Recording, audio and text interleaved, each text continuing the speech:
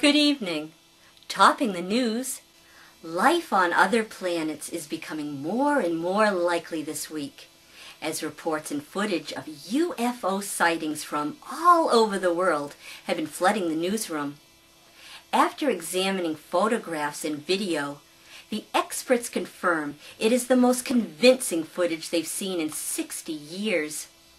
Here's what eyewitnesses had to say. It's still hard for me to talk about this. I was actually abducted by the UFO. I was inside. The aliens were sitting around watching YouTube, of all things, drinking uh, blue liquid, and the female aliens were off to the side breastfeeding. Me? Seen a UFO? I don't know what you're talking about.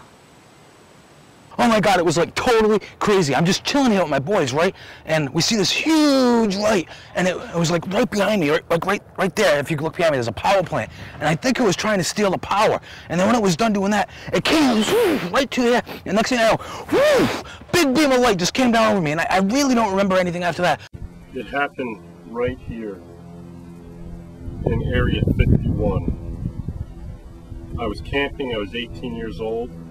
That night, someone got into the tent and forcibly raped me.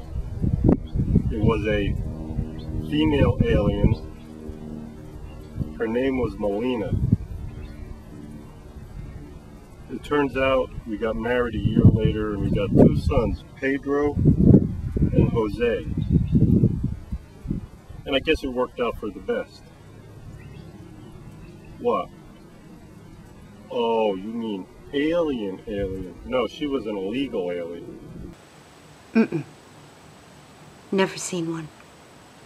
I was in bed then I woke up in space, on a spaceship. and I was in space because nobody heard me scream when these two little furry alien creatures probed me where no man should be probed. You know what I mean? Yeah, in the ass. And then to add insult to injury, uh, they turned me from a six foot eight man into a dwarf.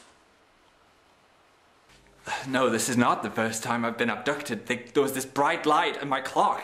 My clock was spinning, and they took a section of my brain. Meow, meow. And and my friend Jeff was there as well. Jeff?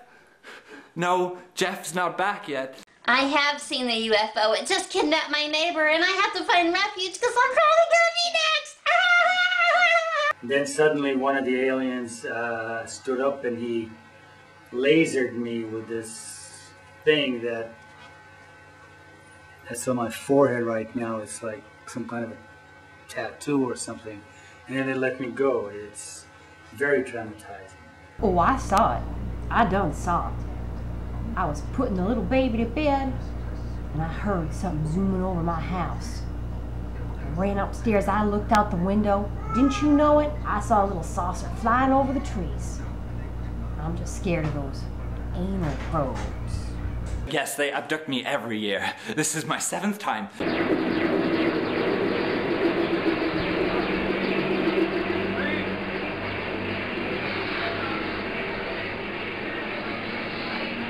Excuse me, there's been reports of UFOs and aliens. Have you seen anything at all? My wife's just thrown a plate on me head, does that count? Flying saucer? Oh dear. You bet you sweet potato pie I believe in those space critters. Yeah, those little bastards picked me up right here in my own backyard. Yeah, I used to weigh 97 pounds. Now look at me. I swear to God those little bastards probed me. I think the little buggers even got me impregnated. I'm not one of those wackos. Mm-mm. Those people are crazy. You know, I think this is all make-believe. Yeah. UFOs. Come on. It's so ridiculous. Not possible. Hang on. What's that thing in the sky? Oh my god! Excuse me, sir, but I, I, got this lump right here, if you can see that, and it, and it wiggles and it, and it, moves around, and I think there's something inside of there, and I should really, you know, I should really get that. I gotta go. I gotta go. This is Alice, my wife. We met aboard the spaceship and we just fell in love, didn't we? And we got married and uh, we've been married ever since for uh, 11 years now. What do my friends think? Well, I don't have any friends as such, do I really?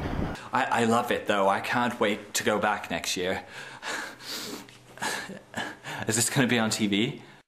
Police have released these sketches of the aliens. A $10,000 reward has been issued for their capture. Anyone with information regarding their whereabouts can call the DVS newsroom at 555 4439. I'm Callie Atwater, just a click away from the news of the day.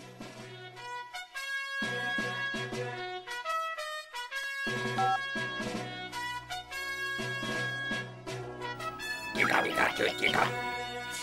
Giga, giga. Giga, giga.